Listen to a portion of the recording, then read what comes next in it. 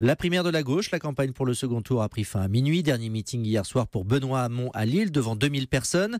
Le favori des sondages, qui s'était affiché un peu plus tôt dans la journée avec Arnaud Montebourg, a reçu hier soir un autre soutien symbolique, celui de Martine Aubry. La maire de Lille n'était pas dans la salle car elle est en convalescence après une opération, mais le message audio était on ne peut plus clair. J'aurais aimé, tu le sais Benoît, te serrer ce soir dans mes bras. Tu as tout simplement redonné vie à l'idée de progrès. Une idée de progrès nouvelle, qui se projette dans l'avenir, qui répond aux nouveaux défis et euh, qui ne n'essaye pas euh, d'utiliser une fois de plus les recettes du passé qui ont échoué dans notre pays comme dans beaucoup d'autres. Ce progrès, ce mot, ce mot qu'on nous aimons tant et qui dit que demain sera meilleur qu'aujourd'hui.